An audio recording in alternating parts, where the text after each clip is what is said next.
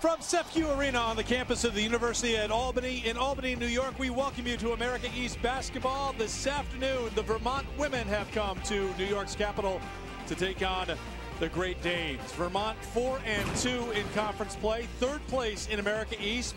And you know, and she watched that game for the bench last year in the quarterfinals, so she wanted to get out against Albany today with a good start. Classic Albany right there. Bushman finds Taylor. Vermont not done, and they're on the board. Bushman with the follow-up.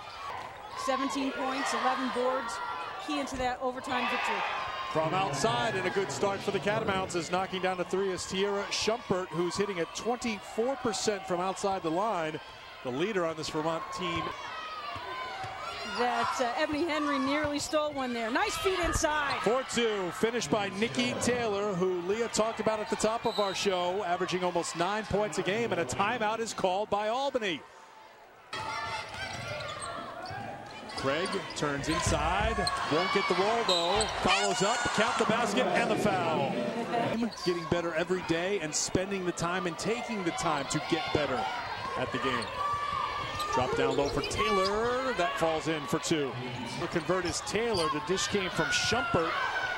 Vermont not done and knocking down the two is Tanya Conley. Great hard work there. Schumpert. Craig came in to challenge. Lowry diving for the loose ball. Ebone Henry throws it ahead and with one long stride to the basket, Richards finishes for her first points and a timeout called by Vermont. Rosario. Bushman throws it out. Three-pointer drops down. Kayla Burchill gets her first points. 16 turnovers for Albany, 21 for Vermont, and the Catamounts bring it within 11. Lauren Bushman back in. Loose ball picked up by Vermont, turnover by Albany, and getting it to drop is Tanya Conley. The three-pointer is short. Bushman couldn't get it. Henry boxed out, and look at how Henry looks up ahead for Richards, who finishes on the other end.